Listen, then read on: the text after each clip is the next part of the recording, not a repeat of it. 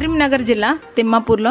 తిమ్మాపూర్ మండలంలోని రేణుగుంట కొత్తపల్లి గ్రామాల మధ్యలో గల మోయ తుమ్మెద వాగు అక్రమ ఇసుకదారులకు అడ్డాగా మారింది. సౌండ్ టాక్స్ పేరుతో నూట యాభై ట్రాక్టర్లను ఓటీపీ ఇవ్వగా అక్కడ మాత్రం రెండు వందల యాభై ట్రాక్టర్లు ఉంటున్నాయి. ఒక్కో ట్రాక్టర్ పది ట్రిప్పులు కొడుతుంది. అంటే ఒక రోజుకి ఇరవై ఐదు వందల ట్రిప్పులు. మోయ తుమ్మెద వాగు నుంచి అక్రమంగా బయటికి తీసుకుపోతున్నారు. నూట యాభై ట్రాక్టర్ల పర్మిషన్ తోటి రెండు వేల పైచిలుకు ట్రిప్పులు ఇసుకును అక్రమంగా తీసుకెళ్తున్నారు. ఇది అధికారుల పర్యవేక్షణ లోపించడం వల్లనే ఇసుక మాఫియా ఇలాంటి బరితెగింపు చర్యలకు పాల్పడుతున్నారు. భారత కమ్యూనిస్ట్ పార్టీ సిపిఐ తిమ్మాపూర్ మండల సమితి. కరీంనగర్ జిల్లా తిమ్మాపూర్ మండలం రేణుకుంట కొత్తపల్లి గ్రామాల మధ్యల మోయతుమ్మెద వాగులో ఇసుక అక్రమ రవాణాకు అడ్డుగా మారింది.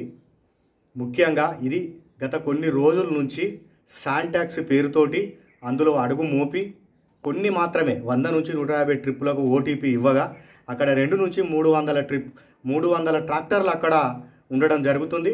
మరి అందులో కొన్ని ట్రాక్టర్లకు ఒకటి లేదా రెండు ట్రిప్పులు కొట్టుమని పర్మిషన్లు ఇస్తే దాన్ని అడ్డుగా పెట్టుకొని ఇసుక అక్రమదారులు ఇంకా కొన్ని వేరే ట్రాక్టర్లను అందులోకి జొప్పించి ఒక రెండు మూడు వందల ట్రాక్టర్లు మినిమం ఒక్కో ట్రాక్టర్ పది ట్రిప్పులు కొడుతుంది.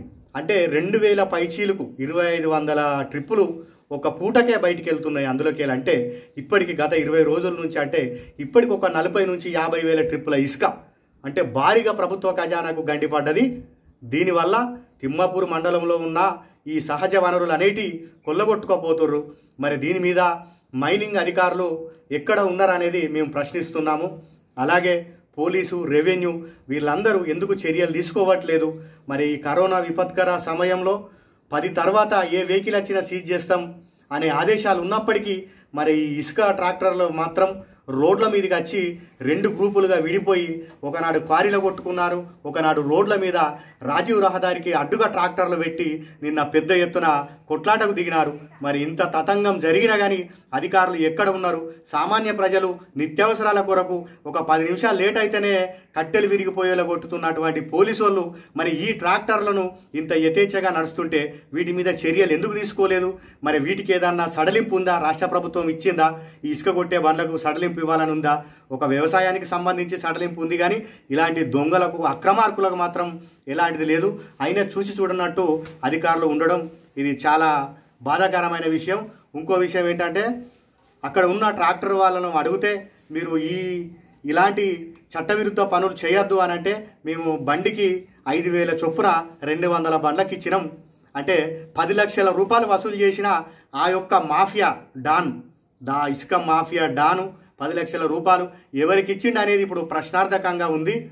మరి ఇవన్నీ నిగ్గు తేల్చాలంటే కలెక్టర్ గారు సిపి గారు ప్రత్యేక చొరవ తీసుకొని తిమ్మాపూరు మండలాన్ని ప్రక్షాళన చేసి నిబంధనల మేరకే అవసర నిమిత్తమే ట్రాక్టర్లను బయటికి పంపించి ఇలాంటి దొంగ ఉసుక కొట్టే వాళ్ళను కఠినంగా శిక్షించాలి.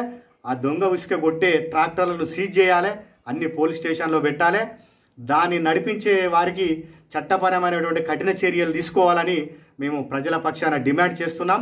లేని ఎడల భారత కమ్యూనిస్టు పార్టీ సిపిఐ ఆధ్వర్యంలో ఇసుక రీచులు బంద్ అయ్యేంత వరకు ఈ మండలంలో ప్రశాంతత నెలకొల్పేంత వరకు మేము పోరాటాలు తప్పవని మేము తెలియజేస్తున్నాము. కావున ఇకనైనా అధికారులు తక్షణమే స్పందించి ఈ యొక్క ఆగడాలను ఆపి ఈ యొక్క గ్రామాలలో ట్రాక్టర్లు పో పోవుడుకు రావడానికి భయభ్రాంతులకు గురవుతారు. మరి ఇట్లాంటి పరిస్థితులు నెలకొంటున్నాయి. ఇంకో విచిత్రం ఏమిటంటే మైనింగ్ డిపార్ట్మెంట్లో అవుట్ సోర్సింగ్లో పనిచేసే వ్యక్తి ఇక్కడ అధ్యక్షునిగా ఉంటుండు. ఈ రెండు కలుసుడు ఏవటి ఈ ఇసుక అక్రమ రవాణాకు మంచి ఒక రహదారి వేసినట్టు అయింది. అలాగే అధికార పార్టీకి చెందిన ఒకరిద్దరు నాయకులు కూడా దీని వెనుక ఉండి నడిపిస్తున్నారు. మరి వీటన్నిటినీ ఎంతటి వారైనా ఈటల రాజేంద్ర అంతటోళ్ళే పక్కదారి పడితే ప్రభుత్వం చర్యలు తీసుకుంది. మరి ఈ చోటా మోటా నాయకులను మీరు వదిలిపెట్టరు కఠినంగా శిక్షిస్తారని ఈ యొక్క ప్రభుత్వాన్ని ఈ యొక్క పాలకులను నేను కోరుకుంటున్నాను. అలాగే జిల్లా స్థాయి అధికారులు దీని మీద ప్రత్యేక చొరవ చూపించి ఇకనైనా మండలాన్ని ప్రక్షాళన చేసి మాఫియా నుంచి కాపాడి ఒక మంచి మండలంగా మమ్మల్ని తీర్చిదిద్దాలని మేము కోరుకుంటున్నాము.